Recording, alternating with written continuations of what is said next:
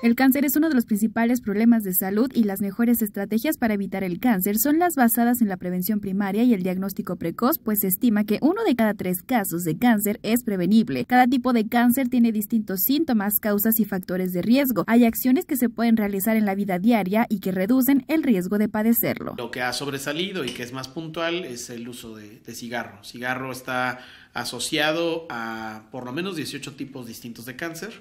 Otro factor de riesgo que también es eh, importante puntualizar es el sobrepeso y obesidad, que entonces quiere decir que hay un componente metabólico del cáncer, que la gente que tiene resistencia a insulina o que tiene diabetes o que tiene sobrepeso o obesidad, también acarrea mayor riesgo. Se ha identificado algunos factores que pueden ser pues, relevantes, como es el consumo de carne roja, y alimentos procesados, embutidos específicamente, aunque también hay otras cosas, las, las conservas en salmuera, los alimentos ahumados, son alimentos que por su forma de preservación generan metabolitos que pueden ser tóxicos en el estómago, en el esófago, en la boca y generar cáncer pues con un uso digamos, eh, muy frecuente. Se estima que las personas que ya tuvieron cáncer pueden recaer con más facilidad si no dejaron de ser fumadores o si no corrigieron algunos de estos malos hábitos. Esto es encaminado a prevención, que es uno de los niveles de atención de la enfermedad, pero también hay otros,